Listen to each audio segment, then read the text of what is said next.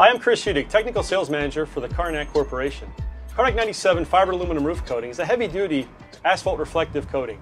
97 has a high concentration of leafing aluminum pigment, one of the highest in the industry. It's great for use over smooth modified roofing, granular modified, as well as built-up smooth asphalt roofing. To begin our application of Karnak 97 fibered aluminum roof coating, we need to clean the roof surface first.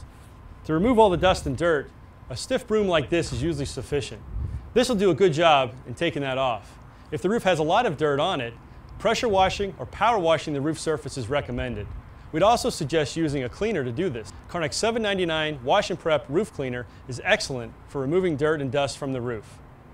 Once the roof is cleaned and dry, if you pressure wash or power wash, we can begin our application. We're going to first mechanically mix the aluminum coating using our half inch drill and Jiffy mixer. I'll take the lid and set to the side. As you notice, it's black on top. That's the asphalt binder.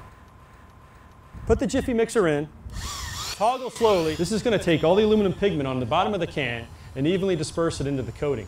Once the coating is mixed, we'll pour out an amount onto the roof and apply with our roller. Now I'm using here an 18 inch wide, 3 quarters inch nap roller. This is a great roller to help cover large areas at one time. 97 can also be applied by soft roof brush to get in corners and details, as well as for large projects, heavy-duty airless spray equipment can be used to apply it.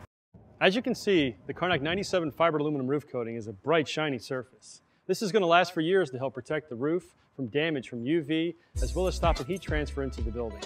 For more information, visit karnakcorp.com.